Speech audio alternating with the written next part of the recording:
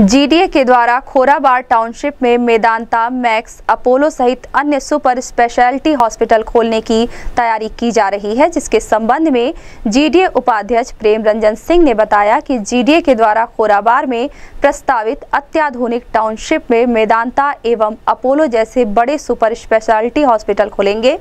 Township में विकसित किए जाने वाले मेडिसिटी में करीब तीन सुपर स्पेशलिटी हॉस्पिटल के लिए स्थान मुहैया कराया जा रहा है। जीडीए अधिकारियों की ओर से सुपर स्पेशलिटी हॉस्पिटल प्रबंधन के साथ वार्ता शुरू कर दिया है।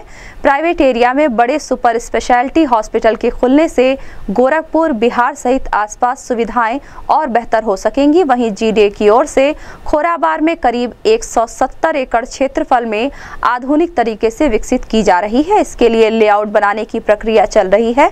अगले कुछ दिनों में इस योजना को लॉन्च कर दिया जाएगा। इस संबंध में गोरखपुर न्यूज़ से बात करते हुए जीडीए उपाध्यक्ष प्रेम रंजन सिंह ने कहा।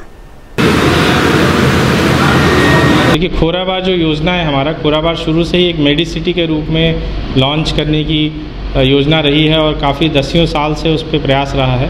तो अभी जो प्राधिकरण में टीम है, उन्होंने खोराबार को इस बार लॉन्च करने का निर्णय लिया है और खोराबार में जो प्रोजेक्ट पूरा बनाया जा रहा है, उसमें हफ़्ता दस दिन और लगेगा लॉन्च होने से पहले।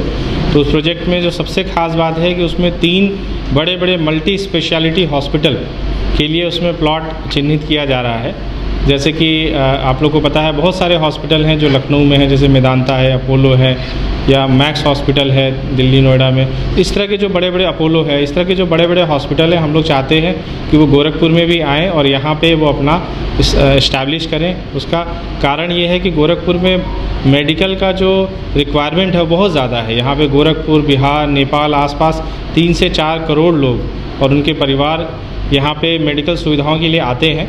तो यहाँ पे अगर बड़े बड़े हॉस्पिटल आएँगे तो उनको भी हॉस्पिटल का भी फ़ायदा रहेगा और यहाँ के लोगों को भी फ़ायदा मिलेगा। इसी को देखते हुए गोरखपुर विकास प्राधिकरण ने निर्णय लिया है कि खोराबार में जो हम योजना लॉन्च करेंगे, वो हॉस्पिटल्स के इर्द गिर्द ही लॉन्च करेंगे।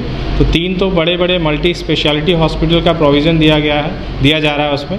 इसके अलावा भी दस छोटे छोटे हॉस्पिटल का प्रोविज़न उसमें दिया जा रहा है। इस पर कार्य चल रहा है। उम्मीद है कि हफ़्ते दस दिन में इसको फाइनल करके इसको रेरा में भेजा जाएगा अप्रूवल के लिए।